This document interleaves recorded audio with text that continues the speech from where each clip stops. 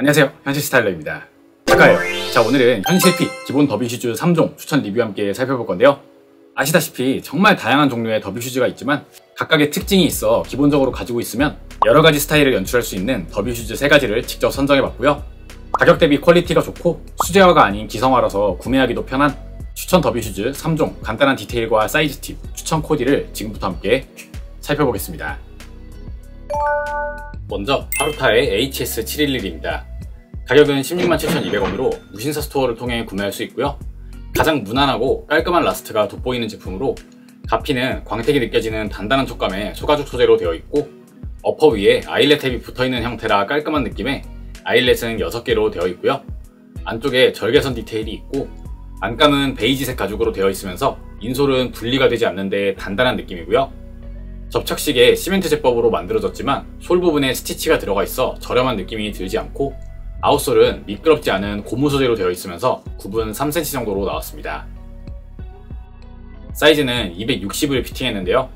국내에서 유통되는 제품은 발볼이 가장 넓게 나온 제품이라 특별히 작게 나온 부분은 없다고 보시면 되고 평소 신는 운동화 사이즈 대비 반 사이즈 작게 신는 걸 추천해드립니다. 무난하고 기본적인 라스트로 코디 범용성이 좋고 formal룩, 캐주얼룩에 두루 활용하기 좋은 기본 더비 슈즈로 추천해드립니다.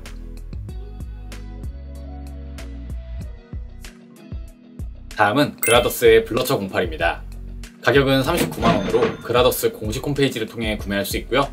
납작하고 둥근 형태의 독특한 라스트가 돋보이는 제품으로 가피는 부드러운 촉감의 full grain 버팔로 가죽 소재인데 stone washing 처리가 되어 있어 특유의 빈티지한 질감이 느껴지고 upper는 quarter와 vamp가 나눠져 있는 기본적인 형태로 되어 있으면서 eyelet은 5개로 되어 있고요.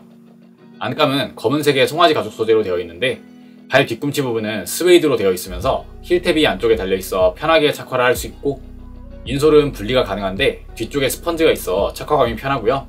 outsole은 Blake Rapid 제법으로 부착이 되어 있는데 가죽 소재 홍창으로 되어 있어서 관리를 잘 해줘야 오래도록 신을 수 있고 굽은 3cm 정도로 나왔습니다.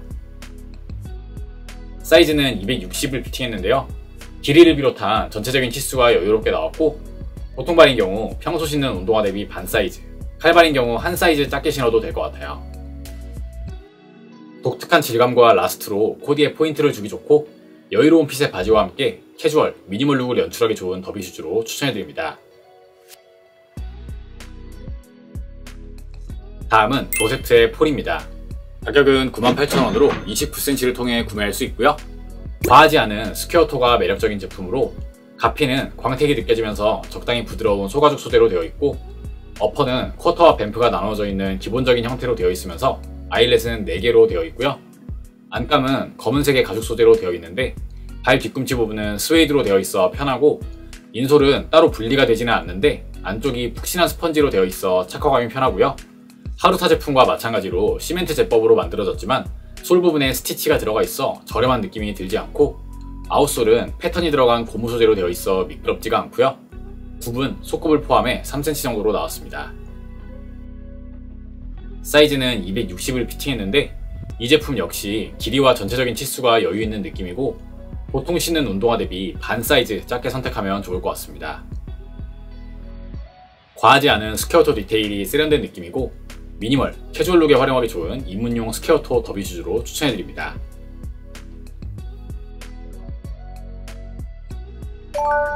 자 여기까지 현실 fit 기본 derby shoes 3종 추천 리뷰와 함께 살펴봤습니다. 착용한 제품, 코디 정보는 영상 더보기란을 확인해 주시고요. 여러분의 현실적인 styling에 도움이 되시길 바라며 오늘 영상 여기서 마칠게요. 뿅!